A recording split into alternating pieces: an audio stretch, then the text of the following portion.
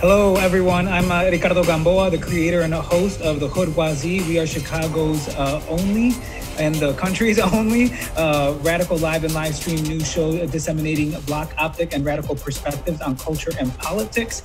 And we are super excited to be bringing you this teaching series, Liberations in Black and Tan, that was incited by an eruption of racial tensions and brown on black violence that happened last uh, week during the uh, George Floyd protests.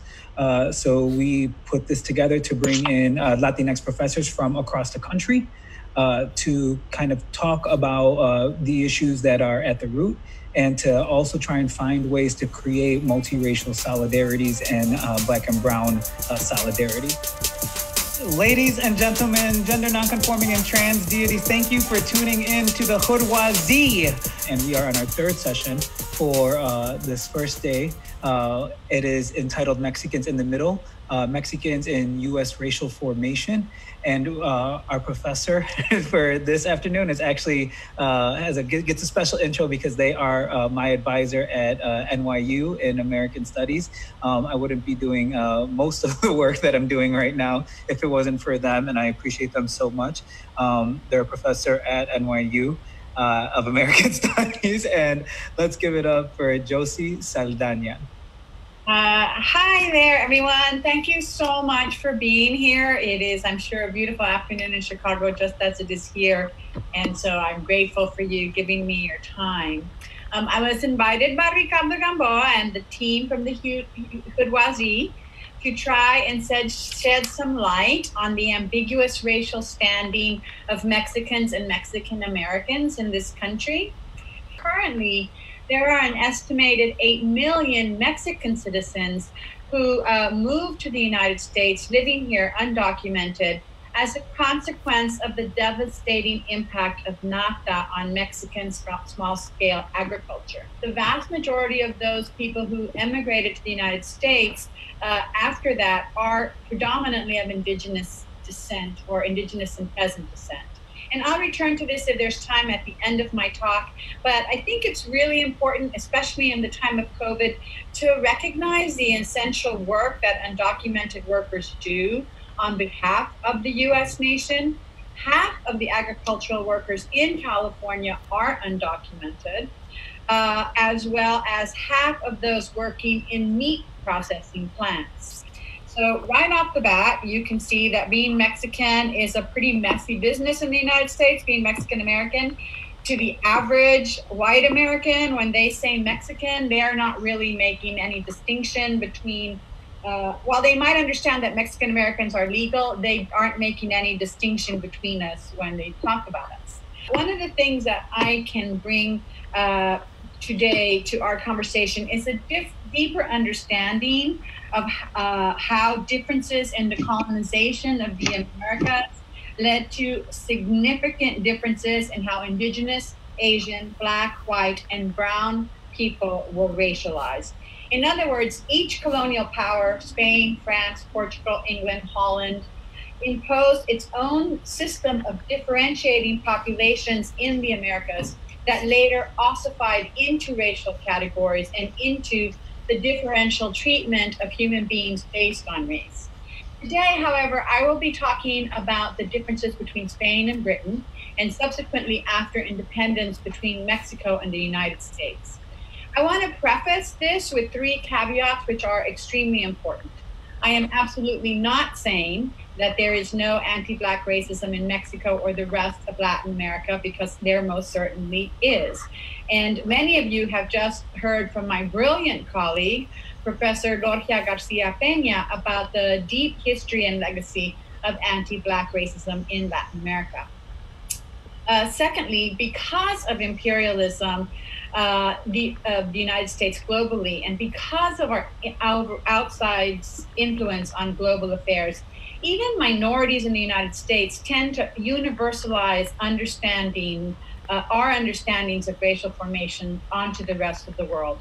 We tend to think that everyone sees race as we do, that all the world has followed the same patterns of racial discrimination that we have. This is understandable, but this kind of exceptionalism is no less ahistorical than any other kind of US exceptionalism. I am also not saying, as a consequence, that somehow Spanish colonialism was better than British or Anglo American colonialism. What I am saying is that Spanish and British colonialism followed, followed very different rules for incorporating their others. And this has had long term consequences for the legacy of race in both Mexico and the United States. And just as a quick example of this, as I imagine some of you know, Mexico's constitution recognizes that Mexico is a pluriethnic, plurilingual, and pluricultural in the second article. so this uh, this this so it officially recognizes indigenous peoples in that article as the original inhabitants of Mexico. Uh, this is a change that was incorporated into the Constitution in 1992 uh, as part of the celebration of the well celebration in quotations of the uh, the quinticentennial of 1492.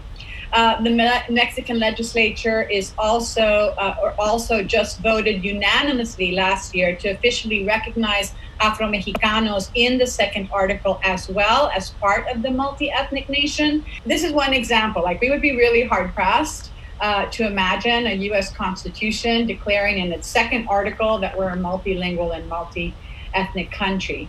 And what I'm trying to show today is that this is due largely to the differences in how uh, colonialism ruled in both countries, how the Spanish incorporated Africans and Indians into New Spain. But I want to reiterate again I'm not saying that Mexico is somehow not racist just because these elements are in the Constitution, because as we all know, there is a huge gap between justice and what is instantiated in the law, right? So uh, this is a lecture in three parts. The first part is on comparative colonialisms, racial formations in New Mexico versus in New Spain versus racial formation in Anglo America, racial formation in the Southwest after the U.S. imperial war of aggression, and White by Treaty, the history of Mexican American racialization uh, in the Southwest and subsequently the country. Okay, so beginning with comparative colonialisms, there are two important differences with regard, with regard to race that differentiate the Spanish system from the Anglo American system. Oh, uh, let's skip this. Okay. Um, from the Anglo American system, and these are principally in how the Crown classified indigenous peoples and enslaved Africans. So, some of you may have heard of a concept called pureza de sangre, purity of blood. And what pureza de sangre meant in Spain uh, before empire and after for a number of, for two centuries, it meant that uh, people had, even though they had been exposed to Judaism, and Islam, they had maintained themselves pure of those false beliefs. So people who had us, because remember, Spain itself was coming out of 800 years of uh, of Islamic rule under the Moors, uh, and so this is happening simultaneously as Spain is, is expanding into the Americas. And so for them, pureza de sangre meant that you had maintained your Christian faith. Uh, even in light of these false belief systems. And um, paradoxically, or, or perhaps what would be surprising, is that indigenous peoples were also considered to have pureza de sangre because indigenous peoples, by very virtue of the fact that they had quote unquote never been discovered before, had never been exposed to Islam or Judaism. So uh, that, that put indigenous peoples in the unique positions of being equally pure as Spaniards. So pureza de sangre meant that you had maintained your whole family line free of Islamic or Judaism, you know, free of these false beliefs. So this is why, because Indians were equally pure as Spaniards, this is why Spaniards were allowed to marry uh, indigenous nobility. They weren't just allowed to do so, they were encouraged to do so. And this wasn't just among the um, elite, this was also encouraged down the rank and file if you uh, married an indigenous woman, you received more, you received land, right? Only the conquistadors, only the very elite received land grants. But if you married an indigenous woman and you were in the lower ranks, you too could receive land. And then there were also disincentives for not marrying your concubine. Like, let's say you were in a relationship with an indigenous woman, the Catholic Church would ban you from using any of the sacraments if you did not marry that woman. So, uh, you know, in order to be able to partake in communion and baptism and et cetera, et cetera, uh, you were encouraged. Uh, you were either you were thrown out of the church if you didn't marry the woman who you were having affairs with, relations with. For uh, the Catholic Church, they saw this as a real opportunity for fulfilling their Petrine responsibility. Uh, you know, upon this rock you shall build my church, of extending the Christian uh, church, the Catholic Church, into to the indigenous peoples of the New World, and consequently, this meant that the Catholic priests worked very hard. Right, they learned indigenous language, they Hispanicized the alphabets of indigenous language, so that and then taught these Hispanicized alphabets to indigenous elites, so that indigenous elites could themselves function as scribes of empire, so that you could have communication between, uh, you know, the very small portion of the population that spoke Spanish and the vast majority of the population that spoke indigenous languages. The Spanish uh, crown and church uh, divided indigenous people into indígenas, so indios dociles, and those were the Indians that accepted Christianity and accepted Spanish uh, authority, at least pretended to, and those uh, indios barbaros, who were those who refused to accept Catholicism or Spanish uh, governmentality. And um, this is, uh, again, initially the terms pureza de sangre and indios bárbaros were religious terms, but you know, within a relatively short period of time, they morphed into what we understand them as today, which is biological terms that are steeped in racism. Uh, but it's important to remember that they originate in this kind of Christian, uh, this other meaning of racial purity, uh, religious purity. The fact that indigenous people had never been infidels, had never been exposed to Islam or Judaism, and had never converted, meant that they could not be enslaved according to Catholic doctrine, right? Because enslavement was reserved for people who had been, who were infidels, who the church had waged crusades against and who refused to co- convert to Catholicism and so therefore could be declared infidel. So now this is where enter Africans. So enslaved Africans uh, and Afro-mestizos in New Spain. Uh, there's a very important difference between Spanish and Anglo-American enslavement. Uh, and again, it rests in the kind of determinant factor that Catholicism played in uh, the colonization of, of New Spain. Uh, the reason why you could enslave Africans from the point of view of the Catholic Church was because they were infidels. They had been exposed to Christ's teachings and had failed to take up Christianity, right? They might be Islamic, they might be Jewish, or they might have other religions. They had had the opportunity to convert to Christianity and they had not taken it, and thus it was, according to Catholic orthodoxy, justifiable to uh, enslave them. Now, let's remember that uh, not only had slavery existed in Europe for centuries, right? Uh, it had existed, the, the name slavery, in fact, comes from Europeans having enslaved Slavs who were predominantly uh, who were predominantly is, is Islamic. So that's where the name slave actually comes from.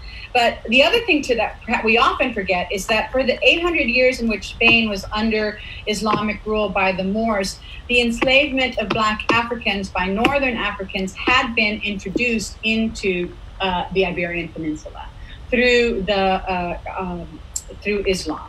Uh, and this is important because they had very different attitudes towards uh, towards African and enslaved Africans, right? In other words, they had had had lived among Africans for a very long time in Spain, uh, and uh, enslaved and free, right? Not every African in in Spain was enslaved, um, and it, it, meant that um, the, also it meant Catholic orthodoxy never ever assumed that Africans were not fully human they absolutely were fully human within Catholic orthodoxy, but they could be enslaved because they were infidels. So uh, this, what happens when Af- Africans are enslaved and brought to the New World is that because the Catholic Church in Spain took its Petrine responsibilities seriously, they baptized Africans en masse, either when they were getting onto slave ships or when they were getting off of slave ships. Yes, this is absolutely the height of irony and hypocrisy, but it gave enslaved people something that they did not have in the United States. And this was the right to fully enjoy all of the sacraments. Enslaved peoples, because they were Christian, because they had been, baptized as Christian, had the right to enjoy all the sacraments. And most importantly, the sacrament of marriage, which meant that they had the right to freely choose their spouses. And of course, enslaved people quick studies, uh, they uh, the male enslaved peoples immediately began choosing indigenous and Spanish wives because the fruit of their wombs would be born free. This had two very very concrete effects. The first was that you couldn't separate families just because they were enslaved. In fact, they had the right to sacred union, and therefore you couldn't. And uh, this is really getting into the weeds, but you know, Spain had two uh, different court systems. So an enslaved person could take a court against it, take a case in the in, in the crown's court against their employer because they were if, if negatively affecting their uh, their sacramental rights. And if they lost in that court, they would go and appeal to the Catholic court, and the Catholic court overruled the crown court. So there are many cases documented in Spain where you have the establishment of the family unit as the sacred, even if they're enslaved or, or, or mixed or mixed, you know, enslaved and non-enslaved uh, families. Now, the other effect, the other concrete effect, is that very, very quickly um, there is a huge free Afro-Indigenous and Afro-Mestizo population. By 1710, the free Afro-Mestizo population is 130,000 while the white population, that is Creoles and Peninsulares, are 125,000. And why is this an important big date, like 1710? Because in 1710, New Spain decides to end to end the importation of any new enslaved peoples. Right. So uh, at that moment in time, it's a very important moment in time because at that moment in time, when you have roughly 255,000 uh, uh, free Afro mestizos and whites, you have uh, an estimated six million indigenous peoples in New Spain, just New Spain. What does this mean? It means that those people who we call mestizo in Mexico today are at least as likely to be descendants of Africans as they are to be descendants of Spaniards. I mean, numerically, that just has to be the case. But also, the vast majority of Mexicans living in Mexico today are not actually products of miscegenation. Though Mexico may politically, for all sorts of racist motives against indigenous people, like to portray itself as a mestizo nation, it is actually an indigenous nation with a smattering of mestizos, whites and blacks, living among indigenous peoples. The vast majority of the Mexican population in other words, did not mix with those 250,000 mestizos and whites, right? It just, it, it just numerically, that would have, they would have been have to be very, very busy to have actually mixed with all of those indigenous people. So the vast majority of Mexicans are what we would consider Latinized Indians. That is, people whose entire genetic makeup is 100% indigenous, but who no longer identify with a specific indigenous ethnicity. What makes a person indigenous in Mexico, uh, even though this too is changing, it's it's it's very clear. It's what language do you speak, what uh, clothing do you use, what modes of local governmentality, what they call usos y costumbres, do you practice, and what cargos or, or, or charges do you hold or offices do you hold for your communities. This is how you maintain your indigenous identity and it's tied to a very specific pueblo. So, in other words, there are, I don't know, more than a million Mayans in Mexico. But those Mayans, although they understand themselves to be Mayan, their principal identification is with the town they are from. This is how seriously, these are the Casta paintings, and this is how seriously the Spaniards uh, took racial admixture, right? Even as this painting is privileging all these mixtures as recognized forms of sacred family units, there's nevertheless a very clear, uh, uh, uh, you know, racial discrimination just in the terms they use, right? You know, there's a lot of um, uh, uh, racializing thought even in this celebration from the Spanish point of view of the castes. The thing about uh, mestizos, right, who are really mestizos, you know, people, what are what is the race of those who truly are mestizos, who truly are descendants of these uh, mixtures that did happen among some of the population in Mexico? What is their race? Well, that's a really difficult thing to adjudicate. And I mean, in Chicano culture and Mexican American culture, we have a saying, and that is that we all come from pinto bean families because, like the pinto bean, you will have in one mestizo family every shade of black, brown, red, and white, just like a pinto bean, which also happens to be the bean of choice of the Southwest. You know, not of the interior of Mexico, but of the Southwest. So, whereas Spaniards and Indians were considered pure, and therefore Spaniards and Indians, for example, uh, could own land. Castas' rights and obligations were really limited because of the fact that they were mixed. People who were in the middle, people who were castas, could not own land. They could not uh, exercise certain professions or guilds, and they certainly couldn't hold any administrative office. This discrimination against against the castas, what these people of mixed ancestry could or could not do, is what caused them to be the major colonizers of the northern provinces of New Spain, what today we call the Southwest. Up to 25 to 50 percent of all of the settlement in the northern provinces of New Spain were populated by mestizos and Afro mestizos. They did this because if you moved on the bo- to the borderland, as is often the case of the borderland, law was a lot looser right? You could own land, you know, so you could have your little ranchito. You could hold office. You could uh, vote. You know, miscegenation, of course, continued in these places, as one would imagine. And so, you know, these Afro mestizos and mestizos married uh, Indios from these areas, you know, the Navajo, the Apache, the Kiowa, all the Pueblo Indios. So, this is the scene in northern New Spain, which will become the Southwest, uh, and at the time of independence. So independence took 10 years uh, from 1810 to 1821. But when it did occur, uh, Mexican, the Mexican Constitution declared all males, uh, white, be they white, indigenous, or free Afro mestizo, to be equal in front of before the law, and we recognized them in the Constitution. And and and, and uh, it in, it did not. The Constitution at that point did not end enslavement of, uh, of, of, people in Mexico. There were approximately 40,000 uh, enslaved peoples in the Yucatan Peninsula, uh, with the caveat that all children who were born to those 40,000 would be free. So their thinking when they dropped the Constitution is that within a generation, all of these would be free. Of course, it's moot because uh, just three years after the Constitution is written and declared, Vicente Guerrero, the third president of Mexico, who is himself Afro Mestizo, declared all enslaved peoples free in 1829. This is what happens on the eve of the U.S. war of aggression against Mexico.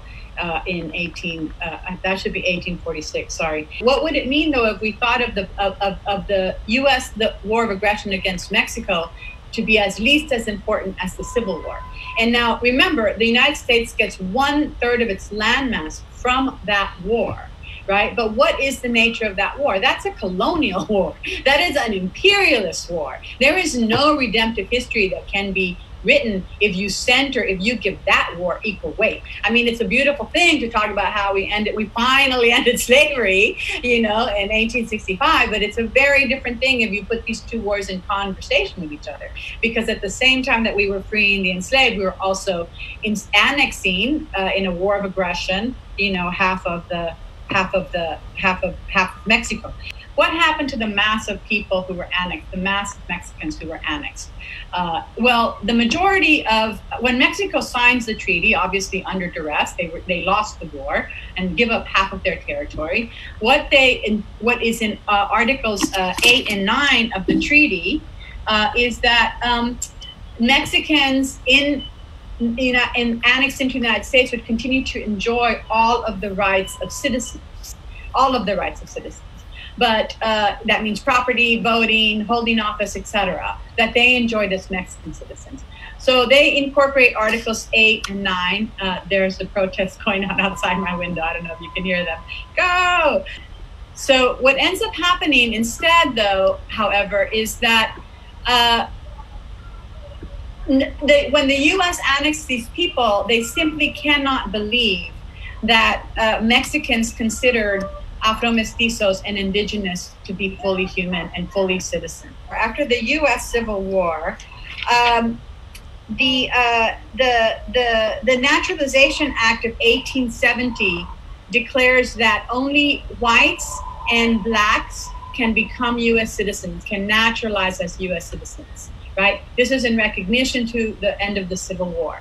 But that's not a benign act. It's not just a coincidence. I mean, that, that they, they choose that language very, very, very uh, explicitly because they simply could have said that everyone in, who comes to the United States can be naturalized regardless of race or creed. But in fact, the Congress spends a lot of time arguing that it cannot use that language. It cannot say that anyone coming to the United States can be naturalized because we'll be overwhelmed by the Asian hordes, that's their language, obviously not mine, or that will have to extend citizenship to Native Americans. Remember, Native Americans don't get citizenship in this country until 1924. So, you know, it's it's this crazy, you know, logic that says that, you know, absolutely only blacks and whites can naturalize for citizenship. So what happens to this this category of Mexican who, whether or not they are actually miscegenated, understand themselves as a racially mixed collection, a motley crew of peoples. Well, the first case for naturalization is in re Rodriguez in 1896 by a Mexican. Uh, who who was actually an immigrant. He hadn't been annexed. He had immigrated from Mexico into Texas, and he uh, he uh, tries to be uh, he makes a petition to be naturalized. And uh, the the court denies the lower court denies it. And so when he takes it up to the state court the state court rules in his favor but not because he thinks that that ricardo rodriguez is white. This is what the judge decides. Ricardo rodriguez is clearly one of these latinized indians who is has already accepted the racial ideology of mexico that all Me- all Mexicans are Mexican. You know, he's a pure blooded Mexican. Of course, he knows he's not an Aztec because, you know, the Aztecs are the Nahuas people, and he probably knows enough to know that whatever his indigenous ancestry, it wasn't Nahuatl, you know, it wasn't Nahuas. So, uh, but my point here is like the judge decides that he's white because of the Treaty of Guadalupe Hidalgo, that he has the right to naturalize, that he's white by treaty. But clearly, even in that decision, the judge is absolutely flummoxed by his racial character.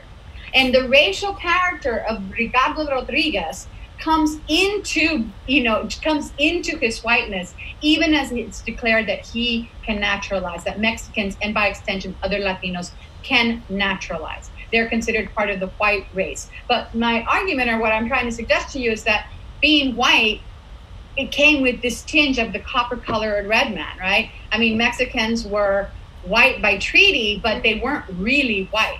If you wanted to maintain your land, maintain your right to vote, or maintain your right to hold office, and you were in the annexed territory and you were Mexican, you had to prove you were white. Literally go to court and establish that there was no more than one 30 second, 30 second, I don't even know how you say it, that you were no more than one 30 second either black or indigenous.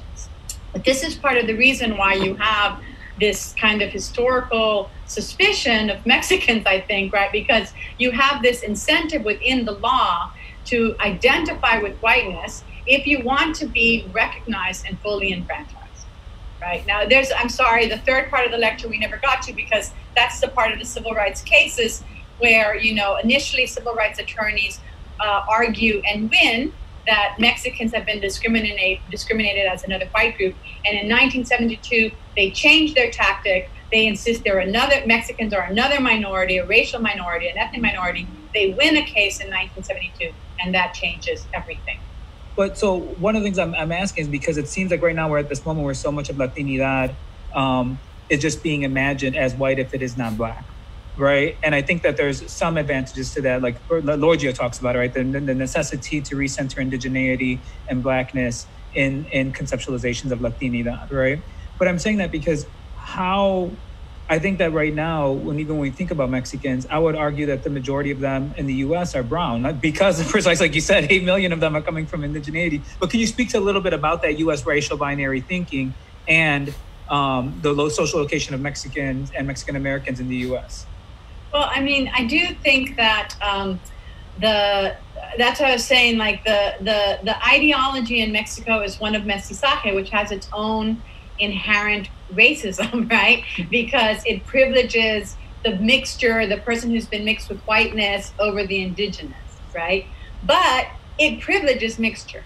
In the United States, we abjure mixture, right? I mean, until relatively recently, biraciality wasn't even a category that was recognized. It's, I mean, I think it just got on the census like one or two censuses ago, right? So, you know, you were either white or you're black. You were either indigenous or you were white or you were black. You know, in other words, there is there isn't the one drop rule in Mexico, and I think that that makes it very confusing for a lot of uh, of Latinos, like not beyond Mexicans, right? Because there are there are Latin American countries where it's really majority Afro Mestizo, and Latin American countries where it's majority Indigenous, and Latin American countries where it's majority white, right? So even within Latin America, depending on how colonization took place, you have real differences. So, I mean, I think that the U.S.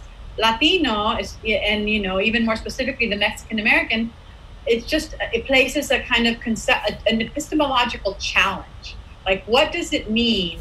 When you are, you know, actually the descendant of, you know, both white and indigenous peoples. Or when you're actually the descendant of indigenous peoples, but somewhere along the way, you simply lost your indigenous cultural habits, right? I mean, there is not a, that, there's the US system of racialization cannot recognize either of those two categories. This is why I wanted to bring in the issue of like when the United States Congress had a choice of saying, let's simply enfranchise everyone, they said, oh, no, no, no, no, no. We don't want to let the brown people in, right? We don't want to let the yellow and the brown people in. We don't want to let the red people in.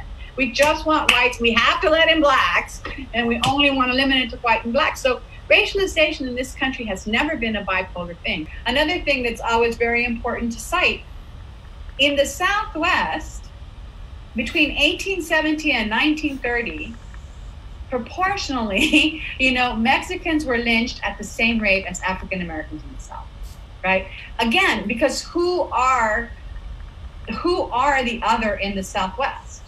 It's the Mexicans, right? That's who you're going to lynch. You know, blacks aren't numerous enough to even be a threat at that point, right? So who do you lynch? You lynch the Mexicans. Where would you say some of the key openings uh, Mexican Americans and more broadly Latinos have right now to further radical change in the U.S.? Where are some of like the, the, the when you when you key in, you know, what I mean, like some of the issues or solidarities or affinities there are to be mined?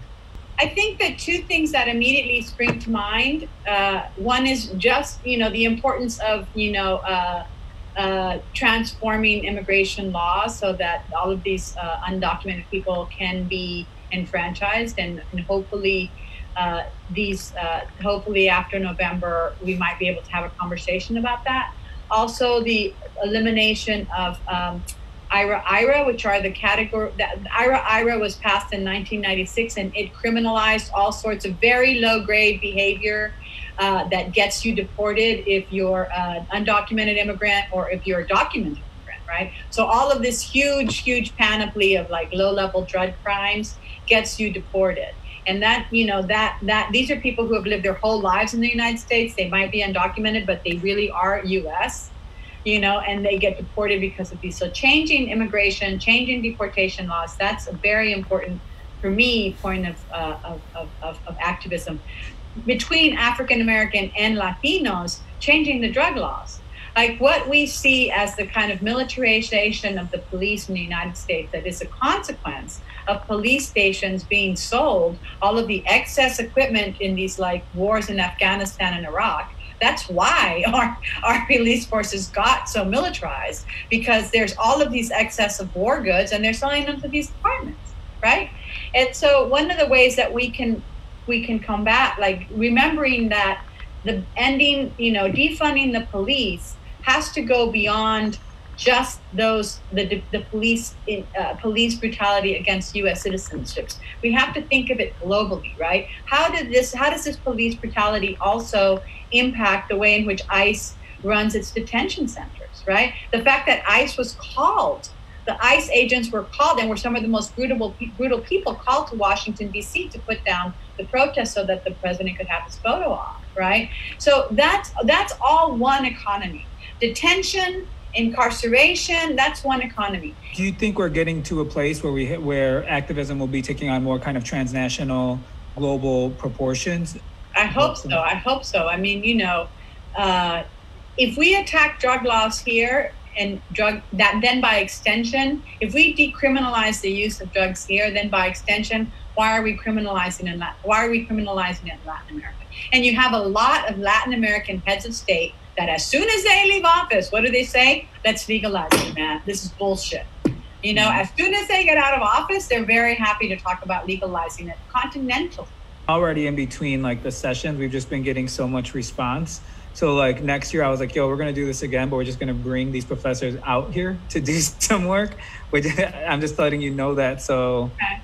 I'm also planning. happy to come back next weekend. I mean, I'm in my home just like you guys are. Uh, uh, Great. Well, we might hold you to that. I want to thank you so much. Everybody put your um, emoji clap hands together uh, for uh, Josie Saldaña. Um, check out um, nyu.edu uh, backslash SCA um, for more of our publications. We'll be sharing them as well. I'm going to drop a uh, link uh, for you all to give us some feedback on how you felt about the session and what you learned um, in the Facebook comments and also um, uh, in the Zoom chat. And thank you so much, Josie. And we'll oh, be seeing you, you soon. Thank you. Bye, everyone. Thank you so much. Bye.